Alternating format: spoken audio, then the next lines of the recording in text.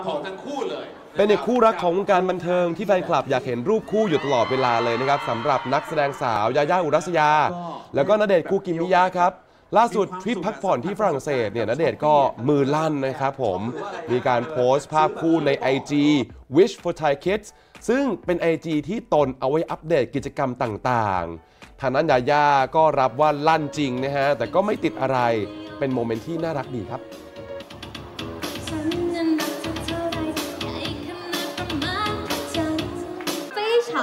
开心非常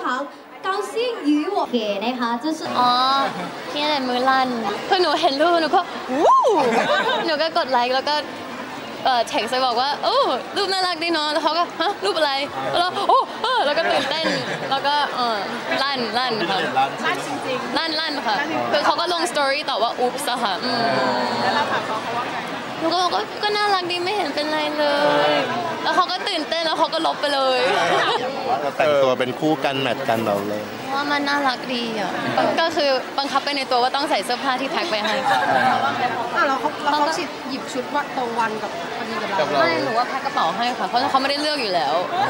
เออใช่ค่ะใช่ค่ะเซ็ตไปให้มีรูปหวานๆน้องไม้เห็นอีกไหมคะรูปน่ารักน่ารักกันเลยมีเยอะแต่ยังไม่ลงโอ้ไม่ไม่รู้ค่ะเราติดตาม รอติดตามไม่แต่ไม่มือลั่นแล้วค่ะ